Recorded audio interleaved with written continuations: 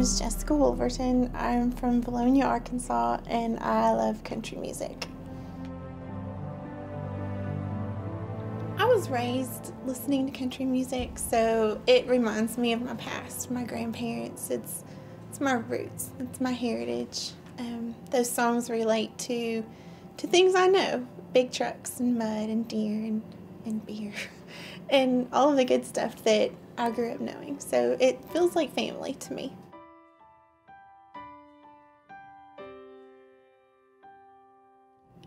Moving On by Rascal Flatts has really touched my life. Um, it, it relates in a lot of ways to things I've experienced in the past and things that we're experiencing currently.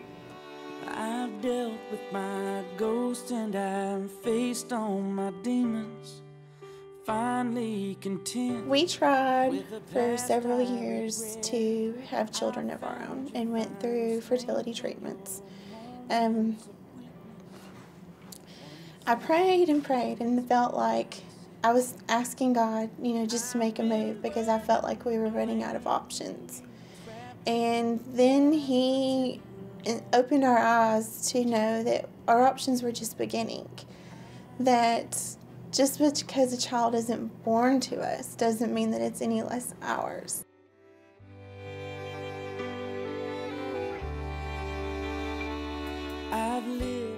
I hope that if Rascal Flatts see this video, they can hear me say thanks for the song, thanks for the emotion and the work they put into making it come alive.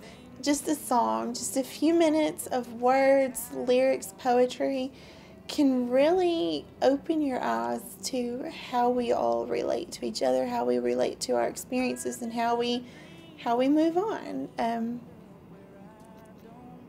thank you.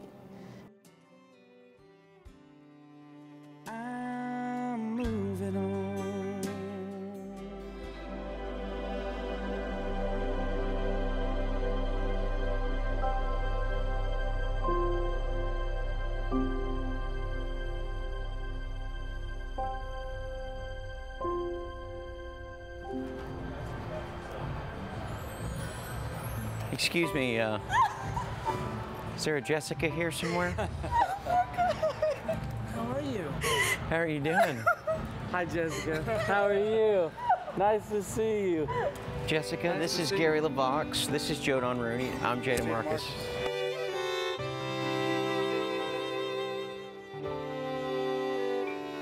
I've dealt with my ghost and I've faced all my demons. Finally content with the past I regret.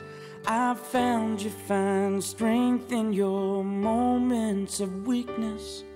For once I'm at peace with myself. I've been burdened with blame, trapped in the past for too long.